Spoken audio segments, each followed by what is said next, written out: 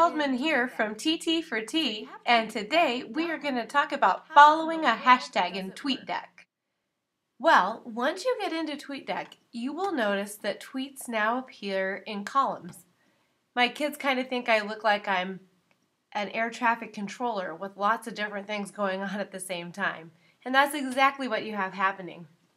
In the first column is your home feed, and these are tweets in this column from anyone who you follow. So that's your home feed. Now, the at column is anybody who specifically mentioned your handle. So all of these people tweeted to at TechieFeldy, and so they all fall in this column so I can easily see things that are supposed to be brought to my attention. Then over here is the inbox, which is something that's more just like an email back and forth. It's a private type of a communication between two people. So when you use a direct message, they'll all fall here and it's called your inbox, kind of like an email. So direct messages are just between you and the other person. None of your followers will see it. And then over here are columns that you might add. So this is a column of a list I'm following of our Bellevue people.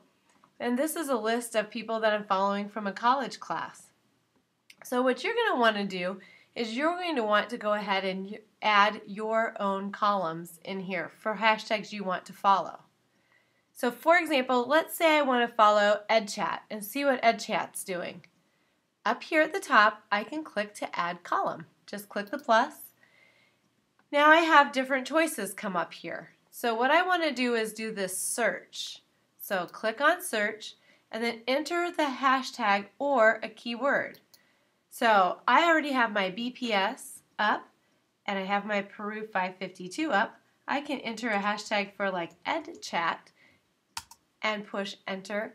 And now this is the column of EdChat. So anyone who's tweeting and puts the hashtag EdChat up will fall into this column.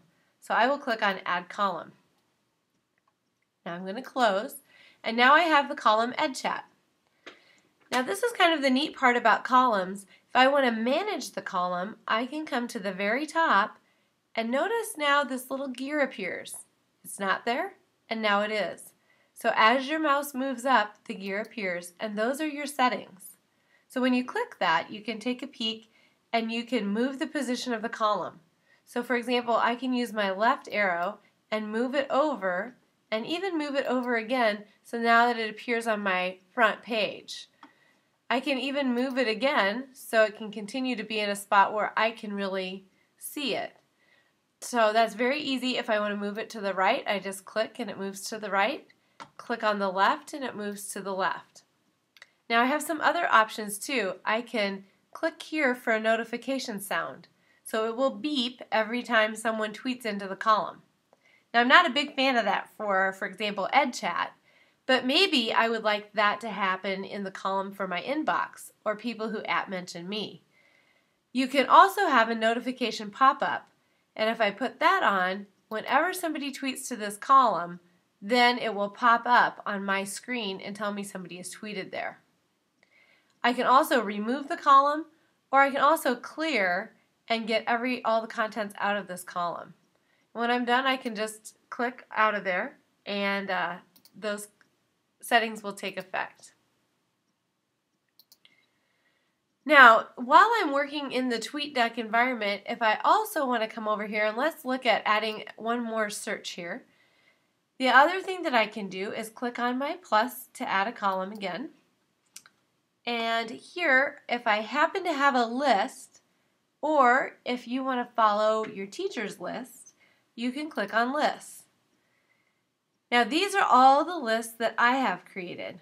So if I want to follow my list of, let's say, Google certified teachers, I can click here and look at Google certified and add a column. Now I have a list of my Google certified teachers that are here and tweeting to this column.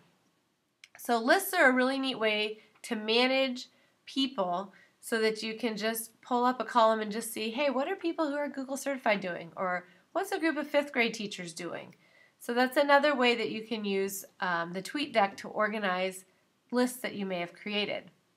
Now, you may get tired of your column, and if you do, you just come up to your gear and you can just simply remove the column and you can get rid of that column.